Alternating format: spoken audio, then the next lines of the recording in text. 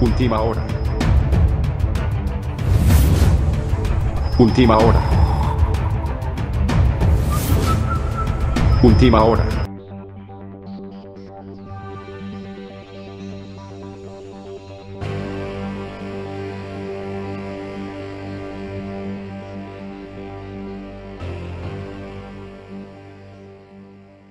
¿Qué tal amigos? Muy buenas noches. Bienvenidos a Sinfo Noticias este día 11 mm, de noviembre de 2020. En la emisión del 11 de noviembre de 2020 le saluda el periodista Alex Espinal desde la sala de redacción de Reportero Honduras. Hoy pues no vamos a presentar eh, la diversidad de noticias que hemos presentado en emisiones anteriores porque vamos a darle espacio suficiente una noticia que realmente tiene preocupadas a las autoridades hondureñas y al pueblo hondureño en general, a un fenómeno meteorológico que ha causado mucha preocupación y que es objeto de alarma y de que se encuentran las alertas o las alarmas encendidas en este momento porque hay un fenómeno meteorológico en el mar Caribe que según los modelos los diferentes modelos meteorológicos, el rumbo que traería sería directamente a suelo hondureño. No pierda la mm, sintonía del reportero Honduras, no pierda de vista las imágenes que en unos momentos le vamos a mostrar, porque aquí le vamos a mostrar la trayectoria de una forma mm, secuencial de lo que puede suceder al próximo lunes de la próxima semana. Ahí se va a enterar usted de lo que podría suceder el próximo lunes con esta onda tropical que realmente preocupa porque podría ocasionar un problema mayor del que ha ocasionado ya la, la tormenta tropical ETA. La tormenta ETA que dejó destrozos en suelo hondureño. Y de inmediato nos vamos con estas imágenes el Centro Nacional de Estudios Atmosféricos, Oceanográficos y Sísmicos CENAO de Copeco informa que la onda tropical ubicada al este del Mar Caribe y al sur de Puerto Rico, a unos 1.600 kilómetros al este del Cabo de Gracias a Dios, continúa desplazándose lentamente hacia el oeste con dirección al Caribe Central. Según los meteorólogos, la mayoría de los modelos de predicción numérica pronostican que este fenómeno tiene una probabilidad de desarrollo ciclónico para los próximos cinco días en un 80% cuando se ubique a unos 1.200 kilómetros de Honduras. Por lo anterior, se espera que la onda tropical adquiera mayor circulación ciclónica y continúe mejorando la organización en las próximas 72 horas pudiendo convertirse en tormenta tropical Iota el próximo sábado, cuando esté a más de 100 kilómetros de gracias a Dios. Varios modelos sugieren que este fenómeno se desplazará al norte de las islas de la bahía, mientras que otros pocos pronostican una trayectoria hacia la costa caribe de Nicaragua entre las ciudades de Bluefield y Puerto Cabezas. Así que Así que mucha atención a usted que se encuentra en esos sectores, en, eh, el puerto de Bluefield, o mm, sí, en el puerto de Bluefield o Puerto Cabezas, allí en, eh, en Nicaragua, en las ciudades de Bluefield y Puerto Cabezas, porque algunos modelos meteorológicos indican que la trayectoria de esta tormenta Iota, que ya el sábado estaría con esa denominación, podría variar su rumbo, podría bien irse hacia el norte de las islas de la bahía o entre las ciudades de Bluefield y Puerto Cabezas. Aunque el modelo meteorológico que nosotros vamos a mostrarles su trayectoria en unos momentos indica que este fenómeno estaría ingresando ahí por gracias a Dios, bordeando la costa atlántica hondureña para introducirse a territorio hondureño ahí por el departamento de Colón. Pero ya vamos a mostrar esas imágenes, no desespere. Em, aún no hay un claro consenso de los modelos respecto a la intensidad que puede llegar a tener el sistema. Por consiguiente, se está a la espera de nuevas salidas de los modelos con los que se podría aclarar cuánto puede llegar a influenciar al territorio hondureño este fenómeno eh, meteorológico que eh, realmente sí eh, tiene de cabezas a las autoridades hondureñas dándole seguimiento permanente día y noche.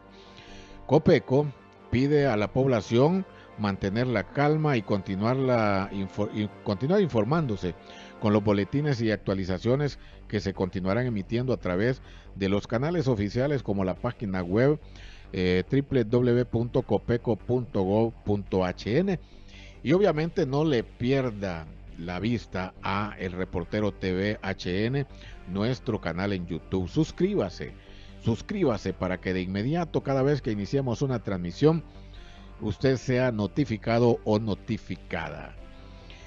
Bueno, vamos de inmediato entonces a mostrarles la posible trayectoria que podría traer esta tormenta, eh, esta onda tropical que está allá en, el, mar adentro, que se encuentra allá por Puerto Príncipe, al sur de Puerto Príncipe, y que con el transcurso de los días estaría avanzando por el centro del Caribe. Miren, el día viernes 13 estaría ahí al sur de Puerto Príncipe, avanzando hacia, hacia el sur de Jamaica.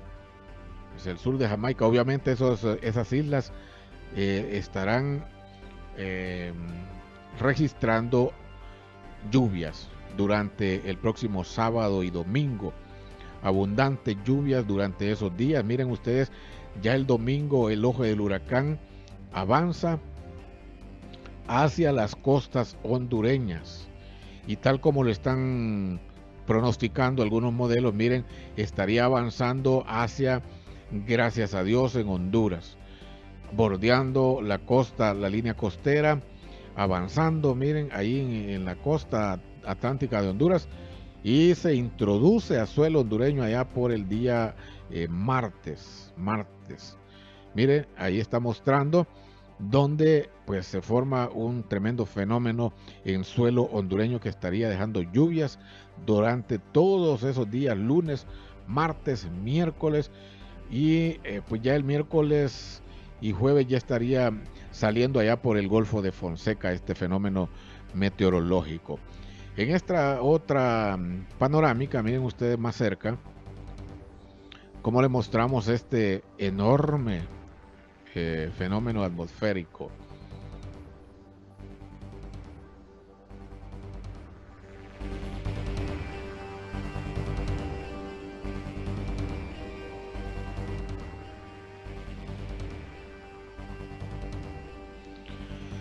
Allí está cuando va avanzando ya hacia la costa hondureña, miren.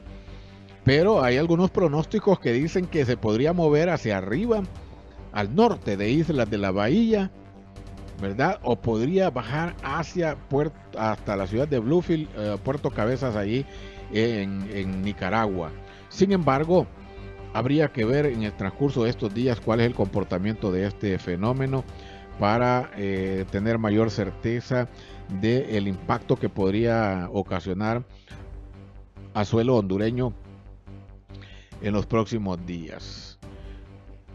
Así están las cosas, miren, eh, una situación de mucha eh, incertidumbre, una situación de mucha incertidumbre la que está generándose y no es por alarmar, estamos presentándoles un modelo no estamos inventando, este es un modelo meteorológico.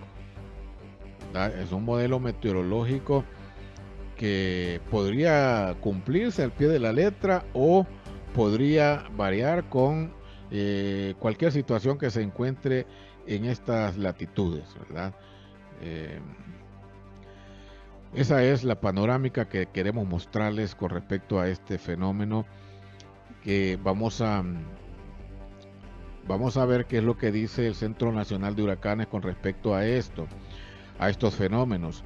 Para el Atlántico Norte, en el Mar Caribe y el Golfo de México, El Centro Nacional de Huracanes dijo este día, emitió advertencia sobre la tormenta tropical ETA que anda allá paseando, miren todavía, vivita y coleando allá por eh, eh, Tampa, localizada al oeste de Tampa, en Florida, y sobre la tormenta tropical Teta, localizada sobre el este del Atlántico.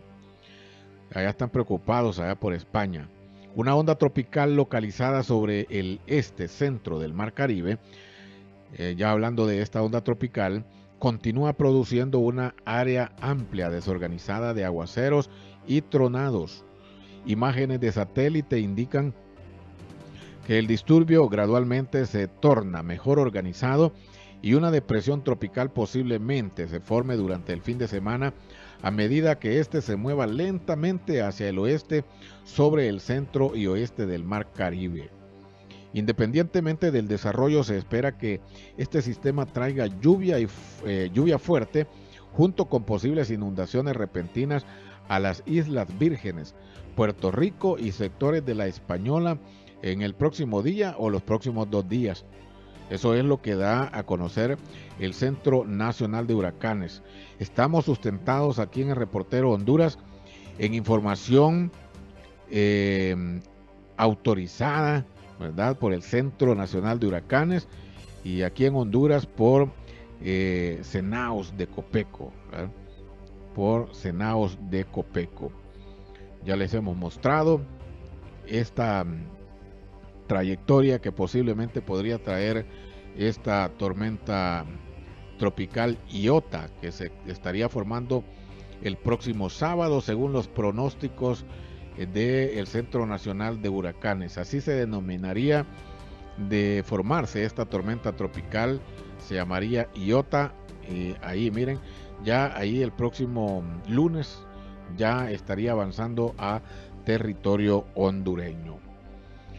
Así que roguemos a Dios aquí en Honduras, en Nicaragua y en El Salvador para que este fenómeno se, se disipe en mar adentro y llegue ya, pues que nos deje lluvias, pero que no nos vaya a dejar inundaciones, que no nos vaya a dejar miles de damnificados, que no nos vaya a dejar eh, qué infraestructura dañada si ya esta tormenta tropical esta dañó cualquier cantidad de puentes, cualquier cantidad de cualquier cantidad de cultivos destruyó, dejó bajo agua cualquier cantidad de, viviendas, miles de damnificados, que aún el gobierno de la República, instituciones, ONGs están trabajando para eh, pues llevarle alimento, llevarle medicina, llevarle abrigo a todas esas personas y ya estar el próximo lunes a las puertas de una nueva tormenta tropical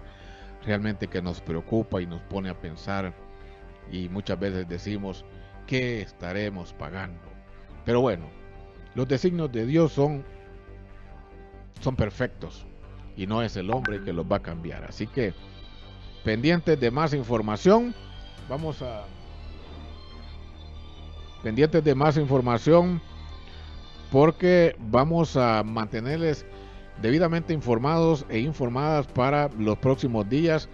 No pierda la sintonía de Sinfo Noticias porque estaremos dándole seguimiento a esta nueva eh, eh, onda tropical que se está formando en el Atlántico, que todavía se encuentra lejos de las latitudes hondureñas, pero que el próximo lunes estaría llegando a territorio hondureño ya como la tormenta tropical Iota. Así que mucha atención a estas noticias, pendientes de los boletines que emitimos aquí en el reportero TVHN y en nuestra página, en nuestro sitio de noticias, el reportero eh. Así que pendiente, aquí estaremos dándole seguimiento a estos fenómenos meteorológicos. Soy Alex Espinal desde la redacción del Reportero Honduras. Que pasen una feliz noche, una feliz mañana, una feliz tarde, depende del lugar donde usted se encuentre en este momento. Hasta pronto. Cuando nosotros salimos afuera, ya allá era la gasolinera, ya el río ya no podía, ya estaban entrando las, las mangas adentro. Ante la emergencia nacional provocada por el huracán ETA, En la Fundación Hondureña para el Niño con Cáncer, rogamos a Dios por cada uno de nuestros pacientes ante los sucesos presentados en las últimas horas. Y es por lo que necesitamos unirnos en auxilio de todo el pueblo hondureño. Comunícate al 9558-3244. Hoy Honduras nos necesita. Fundación Hondureña para el Niño con Cáncer.